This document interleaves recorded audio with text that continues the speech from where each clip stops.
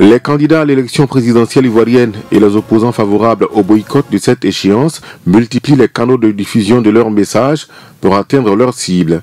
Pendant que certains utilisent les réseaux sociaux, d'autres optent pour les web télévisions qu'ils jugent plus dynamiques. C'est le cas du candidat Kwadio Bertin. Le candidat indépendant a profité de la campagne pour créer sa web télévision. Objectif, vendre son image, promouvoir son projet de société et apporter des répliques à tout ce qui se dit sur son parcours en politique. Au cours de la présentation officielle de cet outil de communication, KKB est revenu sur le boycott actif de cette élection lancé par les candidats du FPI et du PDCI. Moi, je n'ai pas fait ce choix-là. J'ai fait le choix de la cohérence. J'ai fait le choix de la stabilité. J'ai fait le choix de la paix. De mémoire d'homme politique ivoirien, depuis que Félix Houphouët-Boigny est décédé en 1993, je n'ai jamais vu une élection en Côte d'Ivoire organisée avec 100% des conditions réunies. Le candidat a en outre dévoilé un pan de son projet de société, un projet dans lequel la jeunesse occupe une place importante. Je dis que je vais créer le fonds études pour financer les études des jeunes dans ce pays.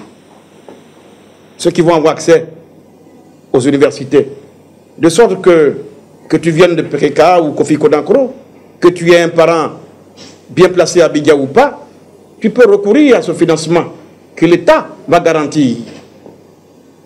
Vous ne remboursez cet argent que 10 ans après avoir commencé à travailler. 10 ans. Avec la suspension de la participation du Front populaire ivoirien et du Parti démocratique de Côte d'Ivoire au processus électoral, Kakabe pourrait être le seul challenger de la Ouattara au scrutin présidentiel du 31 octobre prochain.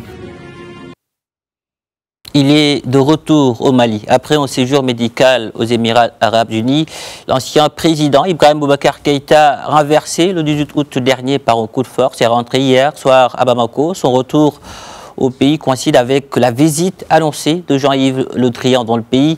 Le chef de la diplomatie française est attendu aujourd'hui au Mali depuis le coup d'État qui a inversé Ibeka. C'est la première fois qu'un officiel français euh, se rend dans ce pays d'Afrique de l'Ouest. Le ministre français des Affaires étrangères échangera avec les nouvelles autorités de la transition. Au programme également la signature de plusieurs accords.